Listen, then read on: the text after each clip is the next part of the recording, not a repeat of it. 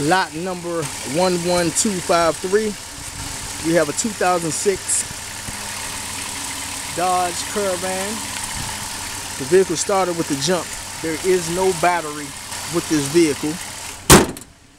The vehicle is currently running. It has two flat tires on the driver's side and one low tire in the front.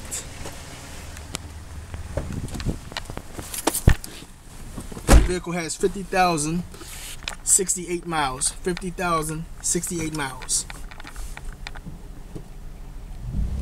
The vehicle does move in reverse. I can't move it too much because it does have two flat tires on the driver's side and it moves in forward. The vehicle is currently running. The gauges is jumping up and down when I press on the gas. As you see, press on the gas, the gauges start jumping. The vehicle is